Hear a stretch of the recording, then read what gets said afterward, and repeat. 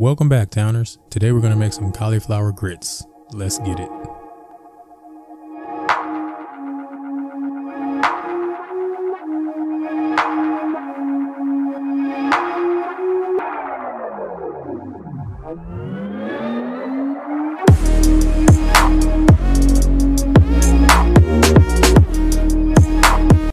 All right, to start off this recipe, we have our pot here. We added in some water as well as some heavy whipping cream. And we put that over our heat. Now we have our heat to a low, medium low heat. We don't want to do this fast or anything. Uh, we then added in some butter and let that uh, slowly melt down into the uh, water and heavy whipping cream.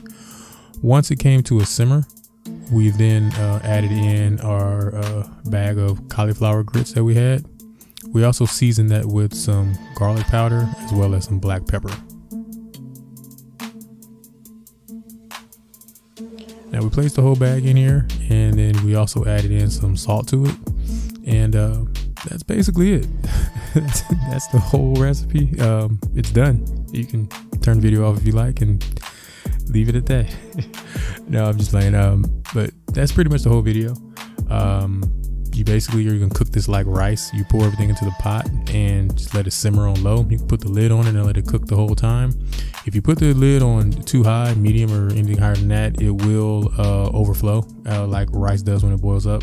But you just want to um, put this on a low heat and keep stirring this, mixing this up every so often. Um, the liquid will reduce down into uh, the cauliflower and the cauliflower will combine to form a grit consistency. Uh, the green specks that you see in there, that looks like that's some of the cauliflower that still has some of the leaves attached to it, but that's perfectly fine, edible. Uh, but yeah, you just keep keep uh, mixing this up. Once the liquid combine liquid reduces down and the grits combine, uh, you're basically done. You can season it to your tasting. We added an additional piece of butter to it. Uh, you can add more salt or pepper if you need. If you want to add cheese, you can do that at this point and melt the cheese into the grits. Uh, but this is pretty much it. Um, if you wanted to uh, go further, and basically turn this into cauliflower mashed potatoes, you could do that as well. If you want to just puree that down uh, further to uh, mush, not mush, to a puree, and just mash it down in a blender or with a potato masher, um, and then you'll basically have uh, cauliflower mashed potatoes. I'll do that on another video. Um, this is our final product. I really didn't get any uh, final pictures of this. Um, my wife cooked this for breakfast, and I just had her to record it, and I didn't realize she didn't take any pictures of it. Um, so this is the, this is it. This is the whole video. Um, if you guys have any questions or comments, please feel free to leave them in the comment section below.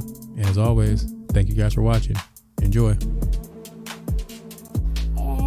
Enjoy. Please subscribe. Enjoy. Hey guys, as always, please like, share, and subscribe.